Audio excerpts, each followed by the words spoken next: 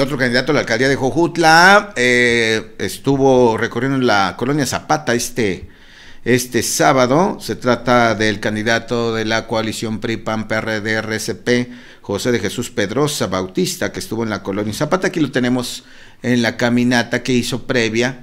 Ya sabe, banderas, música de viento, eh, saludando a la gente. Eh, realizó este recorrido previo hasta llegar a la calle 10 de abril, en donde pues eh, tuvo un encuentro con los ciudadanos de esa colonia. Compartió sus propuestas, escuchó a los ciudadanos, lo acompañó en, esta, en este recorrido su esposa, sus hijos, que decían sus hijos, por cierto, soy el hijo del próximo presidente de Jojutla.